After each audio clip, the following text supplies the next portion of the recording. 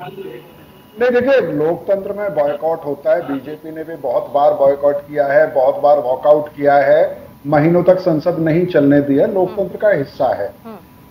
और, लेकिन जहाँ तक नई संसद भवन का सवाल है और विपक्ष बायकॉट के का ऐलान का जो सवाल है उसको बीजेपी को खारिज नहीं करना चाहिए।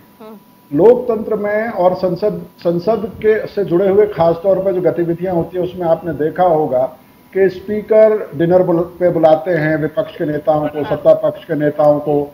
आपस में सुलह कराने की कोशिश की जाती है। अगर विपक्ष ये कह रहा है कि राष्ट्रपति को बुलाया जाना चाहिए और उस पर बॉयकॉट करना करने की कोशिश करें तो जो संसदीय कार्य मंत्री है सरकार के उनको खास तौर पर इनिशिएटिव लेके कम से कम ये मैसेज देने की कोशिश करनी चाहिए कि उन्होंने विपक्ष की आशंकाओं को का निराकरण करने की कोशिश की है।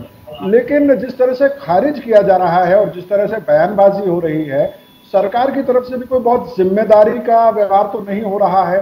दूसरी बात यह है कि संसद भवन का उद्घाटन है, इसलिए विपक्ष को भी इतना दिल पर नहीं लेना चाहिए संसद की स्थापना नहीं है। संसद की स्थापना बहुत पहले हो चुकी संविधान सभा में संविधान बना और उसके बाद हम्म। संसद आज तक चलती आई है हम्म। ये बिल्कुल खुशी की बात है कि देश के की एक नई संसद होगी कल को सांसदों की संख्या भी बढ़ सकती है।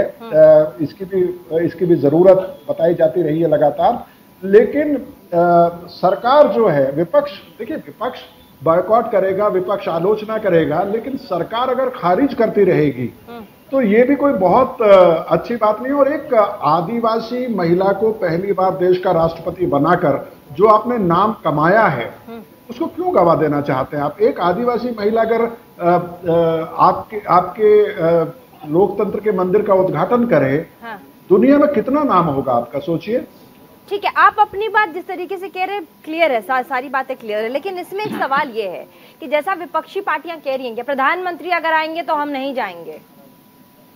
प्रधानमंत्री अगर आएँगे तो हम लोग नहीं जाएँगे। ये ये ये ये नहीं ये ये ये ठीक है लोकतंत्र की बात है।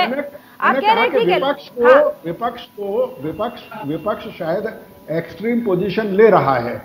विपक्ष को ये नहीं कहना चाहिए कि अगर प्रधानमंत्री उद्घाटन करेंगे तो हम नहीं आएँगे। लेकिन विपक्ष जो दूसरी बात कह रहा है कि राष्ट्रपति जी को बुलाया जाना चाहिए या जो संसदीय परंपराओं का हवाला दिया जा रहा है उनको कभी भी खारिज नहीं किया जाता। देखिए संसदीय लोकतंत्र में आपने कई बार सुना होगा कि और वेंकैया नायडू जी जब उपराष्ट्रपति थे और राज्यसभा के चेयरमैन थे वो हमेशा कहते थे हाँ। कि डिस्कस कीजिए डिबेट कीजिए डिस्पोज कीजिए। ठीक है। है ना? तो वो तरीका है संसद में।